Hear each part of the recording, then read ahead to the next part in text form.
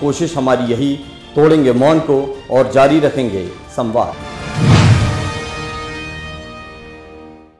संस्कार धानी जबलपुर से शुरू हो चुका है साहित्य का नया चैनल, डायनेमिक संवाद टीवी। आप भी आइए, जुड़िए हमारे साथ। अपनी रचनाएँ हम तक पहुंचाइए, ताकि आप भी विश्व के साहित्य पटल पर उभर सके।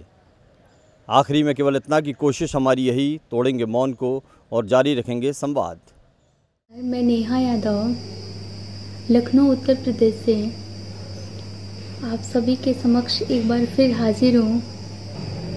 इसका शीर्षक है, स्नेह किताब। तुम एक स्नेह किताब लिखना, मोहब्बत से सजाकर मेरा श्रृंगार लिखना। तुम एक स्नेह किताब लिखना, मोहब्बत से सजाकर मेरा श्रृंगार लिखना। चलते हैं जिन सपनों की दुनिया में, चलते हैं जिन सपनों की दुनिया में। इन सभी रंगों में पिरोए सपनों में संजोए।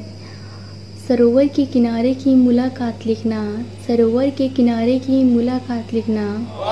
हौले से हवाओं की चलने की एक बात लिखना, हौले हौले से हवाओं की चलने की भी बात लिखना।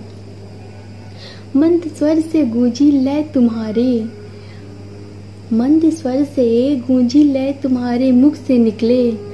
गीत मिलन का प्रेम हमारे नाम लिखना, गीत मिलन का प्रेम हमारे नाम लिखना, तुम एक स्नेह किताब लिखना, मोहब्बत से सजाकर मेरा श्रृंगार लिखना। केसों से जो क्रीड़ा रचाते हो, केसों से जो क्रीड़ा रचाते हो, इस अनुभूति को भी एक बार लिखना, इस अनुभूति को भी एक बार लिखना। आंचल से लिपटे हुए हस्त तुम्हारे आंचल से लिपटे हुए हस्त तुम्हारे, नैनों से छलकती मोहब्बत, नैनों से छलकती मोहब्बत। एकांत में गुजरे छड़ की सौगात लिखना, एकांत में गुजरे छड़ की सौगात लिखना। तुम एक स्नेह किताब लिखना, मोहब्बत से सजाकर मेरा श्रृंगार लिखना। धन्यवाद।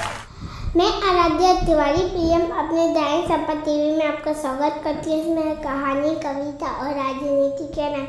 हमारे चैनल को सब्सक्राइब कीजिए, कोशिश हमारी यही तोड़ेंगे मन को जारी रखेंगे। संवाद